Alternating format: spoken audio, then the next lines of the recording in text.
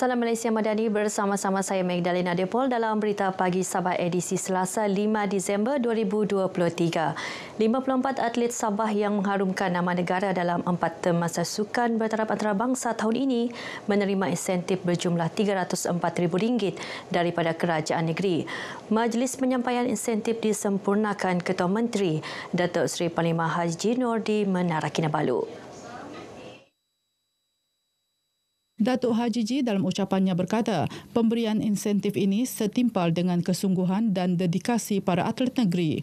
Ia diharap menjadi sumber inspirasi dan penguat semangat agar mereka lebih berjaya pada masa hadapan sejajar usaha kerajaan negeri melahirkan atlet bertaraf dunia. Pada masa sama, pemberian insentif kepada atlet juga bertujuan menarik minat dan penyertaan generasi muda dalam bidang sukan.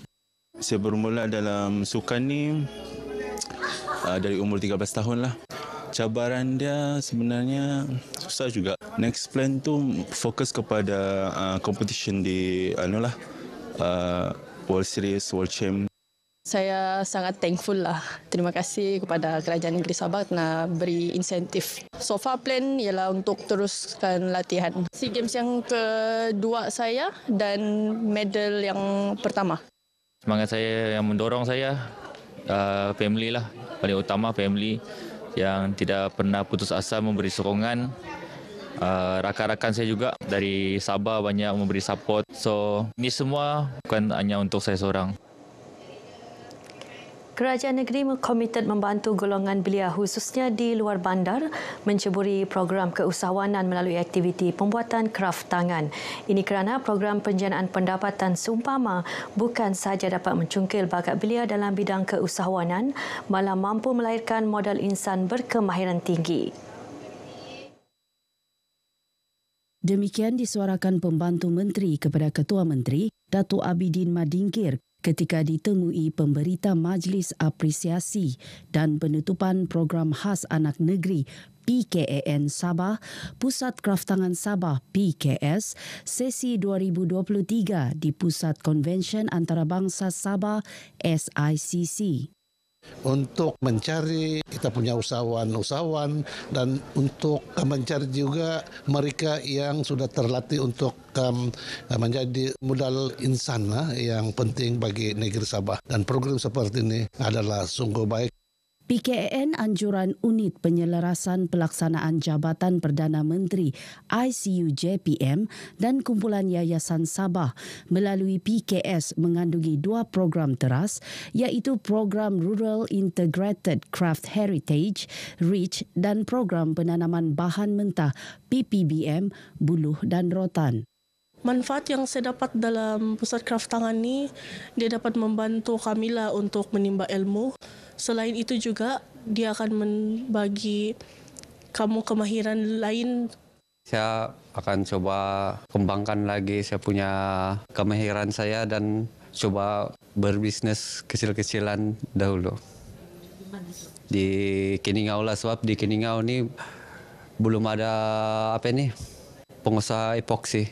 Saya sudah mempelajari tentang cara penanaman, kita mau tanam dari mana dan cara kita mau menjaga dia macam mana supaya dia boleh bertahan dan boleh menjadi satu rumpun bambu yang cantik dan dan sesuai kita gunakan untuk membuat produk-produk. Seramai 160 pelatih terdiri 135 orang program REACH dan 25 orang bagi PPBM berjaya menamatkan program 9 bulan yang dijalankan di Keningau bermula 1 Mac hingga 30 November 2023. Sumbangan bekas pengurus besar Lembaga Pelancongan Sabah STB mendiang Dato' Irene Bengon Charuruk dalam pembangunan sektor pelancongan negeri amat dihargai. Komitmen mendiang selama 25 tahun dalam industri telah membawa perubahan positif kepada sektor pelancongan berasaskan komuniti. Pandangan itu disuarakan Pembantu Menteri Pelancongan, Kebudayaan dan Alam Sekitar, Datuk Johnston Bangkuai yang pernah bertugas bersama-sama mendiang Datuk Irene pada tahun 2013. Menurut Datuk Johnston, dorongan dan komitmen tinggi yang ditunjukkan oleh mendiang telah membawa perubahan kepada pelancongan luar bandar. Beliau berucap demikian dalam majlis memperingati mendiang Dato' Airin Benggon Charuruks yang meninggal dunia pada 15 Februari 2021. Menurut Datuk Johnston, mendiang Datuk Airin telah meninggalkan legasi pelancongan yang amat baik kepada Sabah sekaligus memudahkan usaha mengembangkan industri berkenaan pada masa depan. Sempena majlis ini, syarikat penerbangan AirAsia turut melancarkan rekaan pesawat khas sebagai penghormatan kepada mendiang Datuk Airin yang merupakan ikon pelancongan Sabah. Ribuan pengunjung menghadiri tamu belia tuaran yang berlangsung selama empat hari di Pekan Daerah Berkenaan. Susulan itu, Kelab Belia Pekan Tuaran TYTC selaku penganjur berhasrat menjadikan program tersebut sebagai acara tahunan. Pengerusi TYTC Muhammad Ghazali Hajiji berkata, program ini antara lain bertujuan memupuk bakat belia dan mengeratkan hubungan silaturahim dalam kalangan belia di daerah ini. Muhammad Ghazali memberitahu pemberita selepas menghadiri majlis penutupan tamu belia tuaran. Program dimeriahkan dengan pelbagai pengisian seperti festival muzik, Battle of the Band, pertandingan drone, tarik tali, malam solidariti. Acara kemuncak iaitu ceramah perdana turut dihadiri Ketua Menteri Datuk Seri Panglima Haji Jinor. Seorang lelaki warga negara asing ditemukan rentung dalam kediamannya yang musnah dalam kebakaran di kampung tepian Bakau Sempurna pagi semalam. Bangsa 55 tahun ditemukan dalam keadaan terbaring oleh anggota bomba dan penyelamat.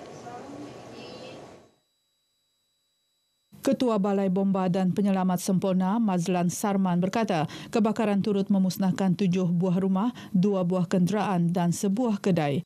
Katanya 21 anggota bomba digegaskan ke lokasi kebakaran sejurus menerima panggilan sekitar 9.2 minit pagi.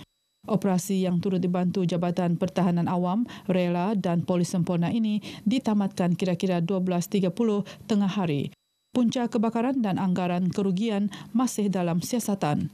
Sementara itu, Pegawai Daerah Sempurna Alexander Liu yang ditemui pemberita berkata seramai 70 mangsa hilang tempat tinggal dan kini menumpang di rumah keluarga terdekat. Mahkamah Tawau hari ini menetapkan perbicaraan pembelaan bagi seorang mekanik atas pertuduhan mengedar hampir 200 kg dadah jenis syabu dua tahun lalu. Semalam Hakim Datuk Dr. Lim Hock Leng memerintahkan tertuduh untuk membela diri selepas mendapati pihak pendakwaan berjaya membuktikan kes prima facie di akhir kes. Berdasarkan kertas pertuduhan, Tai Chi Kiong, 51 tahun, didakwa mengedar dadah di kawasan kampung Batu Payung, Tawau pada 7.30 malam 6 September 2021. Tertuduh didakwa mengikut Seksyen 39B kurungan 1 kurungan A Akta Dadah Berbahaya 1952. Prosiding pendakwaan dikendalikan Timbalan Pendakwa Raya Hurman Hussein menampilkan lima saksi sepanjang perbicaraan bermula 27 November lalu manakala tertuduh diwakili Peguam Darmin Acok. Kerajaan negeri sentiasa prihatin dan menyokong pelbagai aktiviti berbilang kaum dan kepercayaan di negeri ini bagi mencapai hasrat mendidik masyarakat saling menghormati antara satu sama lain. Justru peruntukan kewangan disalur bagi membantu penganjuran sambutan sesuatu perayaan. Setiausaha Politik kepada Ketua Menteri Datuk Dr. Roland Chia berkata, sebahagian besar peruntukan yang disalur membolehkan badan keagamaan bukan Islam melaksanakan pembaikan dan pembangunan rumah ibadah masing-masing. Ia diharap dapat memupuk keharmonian sekaligus membantu usaha kerajaan membangunkan modal insan harmoni. Datuk Dr. Roland menyatakan demikian kepada RTM selepas merasmikan majlis penutupan sambutan Krismas di Inanam. Sambutan kali ke-10 yang berlangsung selama tiga hari ini dimeriahkan dengan pelbagai aktiviti termasuk persembahan artis tempatan. Sementara itu disandakan berlangsung perayaan Krismas anjuran Majlis Perbandaran Sandakan dengan kerjasama Interchurch Sandakan. Majlis perasmian disempurnakan Adun Tanjung Papat Datuk Frankie Pun Ming Fung. Sebanyak 24 buah gereja sekitar daerah Sandakan menjayakan sambutan ini yang diserikan dengan pelbagai aktiviti termasuk penyampaian hadiah kepada kanak-kanak, persembahan kuaya, tarian dan caroling. Baik, paparan itu mengakhiri perkembangan berita pagi Sabah kali ini. Menyusul selepas ini berita pagi Sarawak. Dari sungai hingga ke segara Palestin pasti merdeka.